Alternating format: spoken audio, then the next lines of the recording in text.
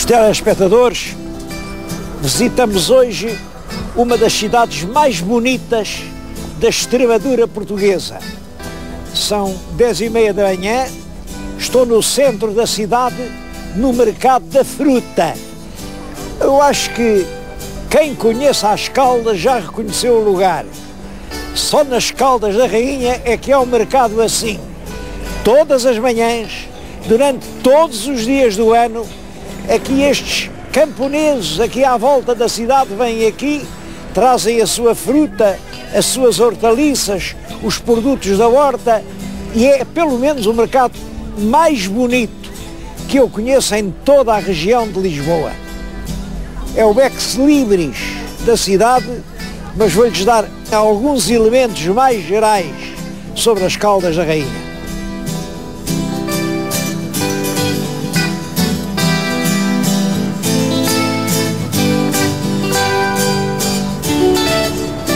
Conselho das Caldas da Rainha fica na província da Extremadura. Bom, e logo isso é curioso, porque também fica no distrito de Leiria. E o distrito de Leiria faz parte da beira litoral. Veja o absurdo que isto é. Uma parte de um distrito que faz parte da beira litoral, esse distrito faz parte da Extremadura. Bom, é uma atrapalhada. Aliás, há muitas dessas atrapalhadas na nossa divisão regional. Este Conselho é um Conselho de extensão média, tem 250 km quadrados. É um Conselho muito populoso, 50 mil habitantes. Só aqui na cidade há cerca de 30 mil e é uma população a crescer em relação ao censo de há 10 anos, aumentou 12%. É, portanto, uma das regiões do país onde a população cresce e onde, aliás, tudo cresce. É uma terra excepcionalmente progressiva e a gente vai estudar isso porque isso é curioso.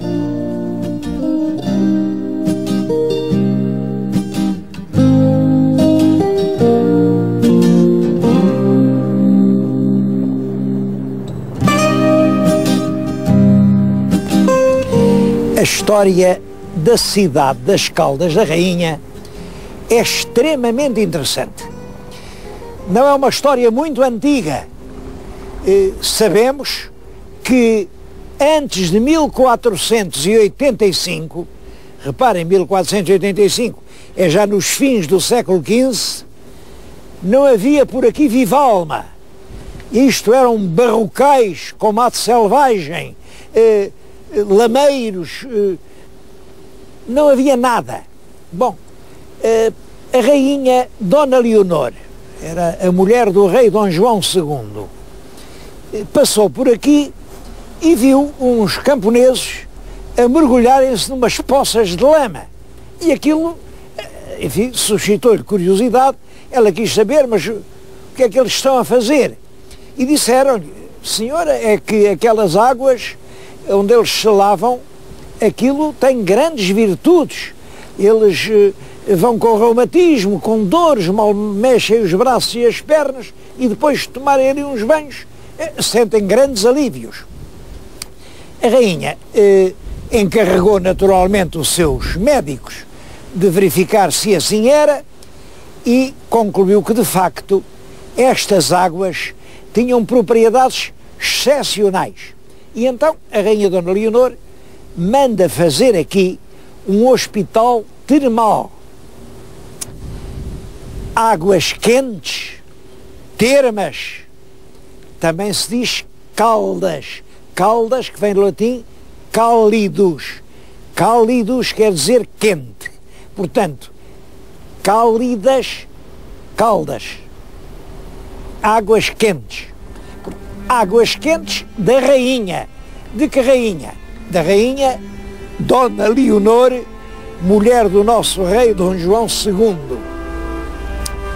Estabelece-se o hospital, vem logo muita gente curar-se, mas essa pequena povoação, no fundo, é apenas um, um pequeno edifício e, e o pequeno hospital, onde ainda hoje se pode ver a piscina que a rainha Dona Leonor no século XV ali mandou fazer e onde ela própria tomou banho.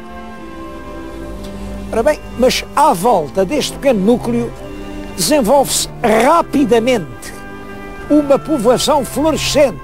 Porquê? Porque isto é que é muito curioso. É que esta região confina com Alcobaça. E em Alcobaça dominavam os abates. Havia realmente uma disciplina muito rígida. Tudo aquilo era da propriedade do mosteiro, eles afuravam as terras, mas ninguém podia chamar seu a um pedaço de solo, fazer uma casa que dissesse sua. Aquilo era realmente um grande feudo eclesiástico. E onde acabava o feudo de Alcobaça, começava a terra livre. A terra livre onde a rainha veio pôr as suas caudas. É exatamente esse chamamento de liberdade, essa capacidade de cada um fazer aquilo que queria fazer, que vem a determinar o destino rápido e brilhante da pequena aldeola fundada em 1485 pela rainha Dona Leonor.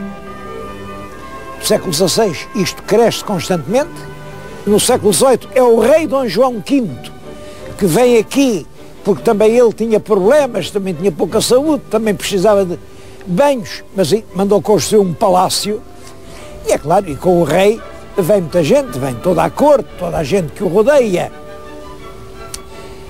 Mas é no século XIX que as Caldas se transformam numa povoação conhecida em todo o país.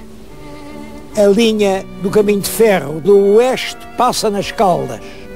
A estrada de aeroporto passa nas Caldas. Muito perto das Caldas ficam algumas praias famosas em Portugal. Fica, por exemplo, a Nazaré. E as Caldas são rapidamente um centro turístico.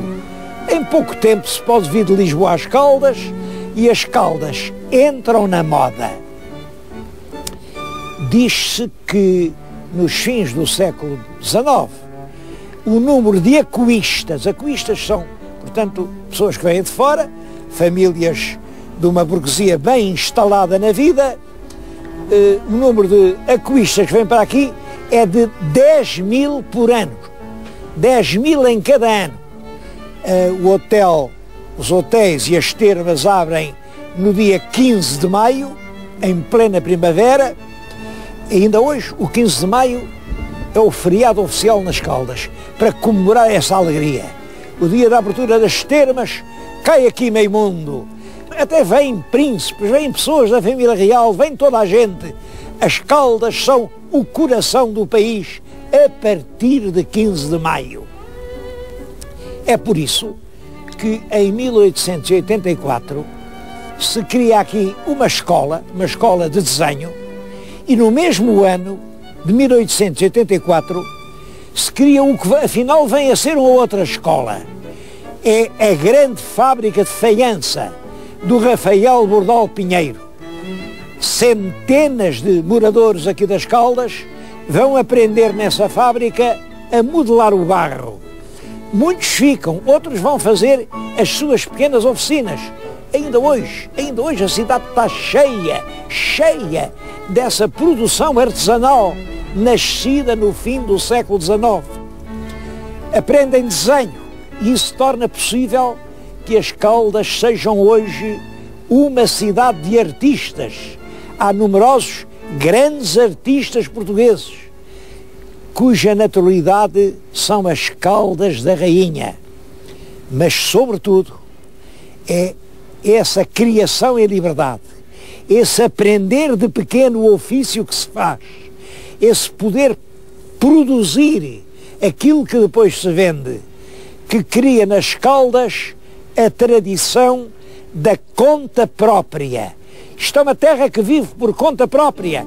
Nesta pequena cidade de 30 mil habitantes, não, não há grandes superfícies, mas há duas mil lojas, o que representa a manutenção de duas mil famílias Quer dizer, todas as caldas vivem da conta própria, do comércio, dos serviços, dos transportes. Bom, e é claro, ainda daquela pequena agricultura residual que começamos por ver no mercado da fruta. Tudo aquilo é criado aqui à volta. A cidade continua a consumir o que a sua própria região produz.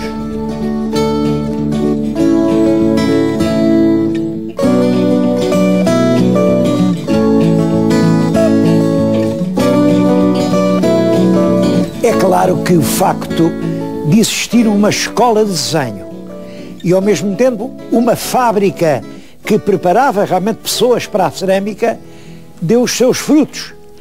E as Caldas da Rainha, durante o século XX, foram um verdadeiro viveiro de artistas. Nasceram aqui os escultores António Duarte e João Fragoso, os miniaturistas Francisco Elias e Herculano Elias, os ceramistas Ferreira da Silva e Armando Correia. Bom, estou-lhes a falar precisamente no museu, no Museu António Duarte, porque o escultor António Duarte doou à cidade em que nasceu toda a sua obra artística. E nos últimos anos de vida, os últimos trabalhos foram feitos aqui e quem quiser conhecer a obra desse grande escultor tem hoje que vir às Caldas da Rainha. Eu percorri pela primeira vez este museu. Devo dizer que foi um excelente exemplo ele dar a coleção e a cidade aceitá-la e fazer este museu, porque outros grandes escultores, como Barata Feio, como Leopoldo Almeida, já doaram a sua obra à cidade das Caldas da Rainha e as Caldas vai ficar uma espécie de cidade-museu dos grandes escultores do século XX. O escultor António Duarte nasceu no ano de 1912 e morreu há cinco anos, portanto morreu em 1997, já com 80 e tantos. A obra dele está aqui reunida na sua maioria. Ele tem uma grande obra ainda do tipo convencional, eh, aquelas estátuas que se faziam para os monumentos, para as câmaras, eh, para os tribunais e podem aqui admirar-se, por exemplo, eh, essa bela estátua que ele fez do rei Dom Sancho I. Dom Sancho I, o rei dos florais. Aliás, Dom Sancho tem junto dele uma criança que mostra um floral. Essa criança é o filho do próprio escultor, o cientista Dr. Felipe Duarte, que ele depois retratou numa fase mais tardia. Está aí um busto, um busto do Dr. Felipe Duarte, feito pelo pai, que para mim é uma das obras-primas da escultura do nosso tempo. Eu acho que só um pai é que é capaz de modelar um filho com tanta verdade e com tanta beleza. Mas tem muitas outras coisas, eh, eh, estátuas históricas do João de Santarém, o descobridor, ou do Paulo Dias de Novaes, o, grande herói angolano, ou aquele vasto da gama tão diferente dos que é costume representar, ou João Pinto Ribeiro, que é, como sabem, o, o artífice, o jurista da nossa restauração, ou numa fase mais moderna, o Teixeira de Pascoais, Teixeira de Pascoais era amigo do escultor António Duarte, e daí a veracidade psicológica espantosa daquela figura, e Agora, nos retratos, ele tem muitos retratos, mas o Zé Régio, eu gosto muito, muito de Zé Régio, ainda conheci o Zé Régio. Quem viu na televisão o Dr. Vitorino Nemésio, olha, ele está ali, digam se não é o mesmo. E a Sofia de Melo Breiner, retratada novinha. Bom, e acho que apesar de ter passado tanto tempo, ela nunca mudou muito. Mas há muitas outras coisas do escultor António Duarte. Há as peças já do fim da vida. Eh, tem ali uma composição que é realmente um homem desesperado, eh, colocado numa posição grotesca, um homem que realmente eh, está manifestando todo o seu desprezo e todo o seu protesto contra as instituições que o enjeitaram. Aquilo é realmente uma das grandes estátuas destes anos que vivemos.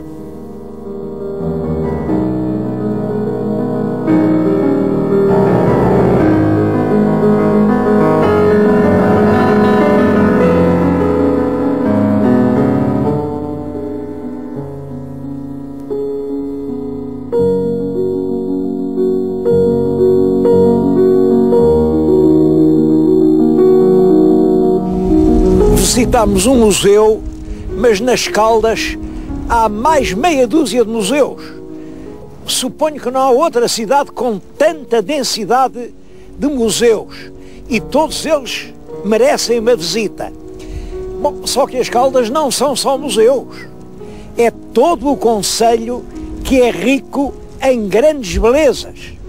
Eu agora vim falar-lhes aqui junto da Lagoa de Óbidos era uma grande entrada do mar. Eu creio que isto, na época romana, chegaria a Óbidos, depois foi assoreando, assoreando, e hoje a lagoa é um problema. Está a assorear cada vez mais, frequentemente a saída para o mar tapa, e é claro, nessa altura estas águas ficam paradas. Em todo caso, a Lagoa de Óbidos ainda hoje é uma fonte de riqueza. Vêm estes barcos isto não são barcos de recreio. Há aqui 200 famílias de pescadores. E vem aqui da pesca na lagoa. Bom, mas todo este aro circular é de uma grande riqueza arqueológica. Aqui há testemunhos de presença do homem desde o Paleolítico. Eh, populações que viviam nestes bivalves que se apanhavam aqui acumularam-se e há várias estações que documentam presenças de épocas muito, muito antigas. Infelizmente, eh, não têm prestado muita atenção a isso. Essa riqueza arqueológica que rodeia toda a Lagoa de Óbidos está por estudar. A lagoa tem hoje um canal, liga com o mar, por isso é uma lagoa de água salgada e no topo da lagoa está a praia da Foz do Arelho. O Arelho é um pequeno rio que vai desaguar aqui na lagoa, precisamente. É, e a praia da Foz do Arelho é outra grande atração turística. No verão tem milhares de pessoas. Hoje, apesar de estarmos em abril, está realmente um dia de uma completa invernia. Mesmo assim, os restaurantes lá embaixo estão cheios de gente para almoçar. A Foz do Orelho é, aliás, a melhor praia das Caldas, mas há outra. A outra praia do Conselho é esta, é Salir do Porto. Devo dizer que é um sítio de uma extrema beleza. Daqui até a Foz do Orelho é uma dúzia de quilómetros. E nessa dúzia de quilómetros é proibido fazer seja o que for. Diz que é para a proteção das arribas. Mas quer chamar a atenção para uma outra coisa. Em Salir, Salir é uma aldeia muito bonita, muito bonita. Eh, é proibido aqui fazer torres, fazer prédios, fazer eh, há moradias encantadoras. Bom, só que a dois passos daqui muda o conselho. Já não é Caldas, agora é Alcobaça. E como é Alcobaça, podem fazer torres, torres com, não sei se desce uma dúzia de andares, e toda aquela encantadora concha de São Martinho do Porto hoje está rodeada de uma muralha de cimento. E eu pergunto, mas que gestão é esta da fachada atlântica de Portugal, que um riacho aqui só deixa fazer resto de chão, além já deixa fazer 10 andares, então como é isso? Como é que isto é possível?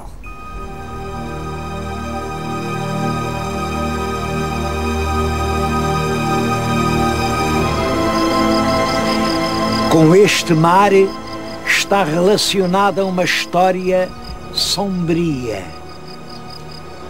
No dia 26 de outubro do ano de 1892, Portanto, no fim do século XIX, um grande navio inglês o România, que navegava de Inglaterra, tinha saído de um porto inglês de Liverpool e a caminho da Índia, carregado de passageiros, passou aqui, renta à costa, havia um nevoeiro espesso, bateu nos rochedos e houve um naufrágio pavoroso dos 126 passageiros que levava, morreram afogados 122. Estou-lhes a falar junto das campas de muitos deles. Há ali uma pedra que diz que a maioria nem sequer foi encontrada. O mar levou-os para sempre. E ficou a lenda, a lenda, de que o naufrágio não foi casual. Havia por aqui uma tradição de piratas que nas noites da névoa, nos altos dos montes, acendiam fogueiras para atrair os navios.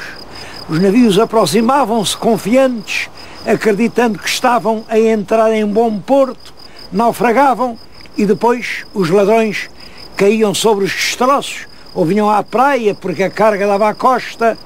E é verdade, é verdade que este navio foi pilhado, o noticiário do tempo não deixa dúvidas nenhumas sobre isso.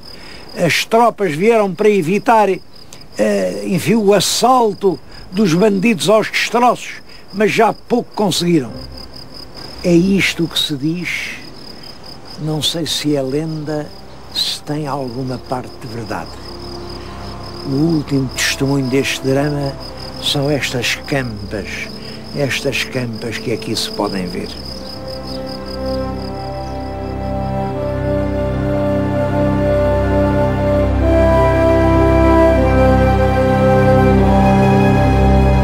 Mas é claro que eu não vou acabar um programa sobre esta região realmente encantadora, que é toda a terra das Caldas da Rainha, com histórias tão tristes como essa que eu acabei de contar. Bom, e venho terminar o programa num lugar que se pode realmente considerar o coração das Caldas. Uh, isto não tem nenhum caráter comercial, mas estou-lhes a falar na Pastelaria Machado. É uma pastelaria que tem mais de 150 anos. Eu acho que aqui, nesta mesa, se calhar não era bem nesta, porque esta é moderna, mas numa mesa aqui neste sítio, veio tomar café o Rafael Bordal Pinheiro. Foi aqui nesta casa que se inventaram as trouxas de ovos. As trouxas de ovos são realmente um dos milagres da culinária caldense e não me disseram, mas eu não estou longe de acreditar, que as próprias cavacas das Caldas terão nascido aqui. Estão aqui duas jornalistas das Caldas que me dirão se eu estou enganado ou não. O que eu queria dizer agora, muito a sério, muito a sério, é que a cidade das Caldas é um exemplo impressionante de quanto pode o valor dos habitantes. Eu chamei ao programa muito de propósito capital por conta própria, porque esta é a verdadeira capital turística da Extremadura. Podem as outras ter títulos, ter tabuletas, é aqui que as pessoas vêm. A cidade cresce rapidamente e a olhos vistos e cresce sem pedir nada a ninguém. Eu estou a dizer-vos isto, como veem, com uma certa emoção, porque Todos sabem que dias difíceis estamos a viver. Se todas as cidades portuguesas fossem como as Caldas da Rainha, nós podíamos ter menos dores de cabeça.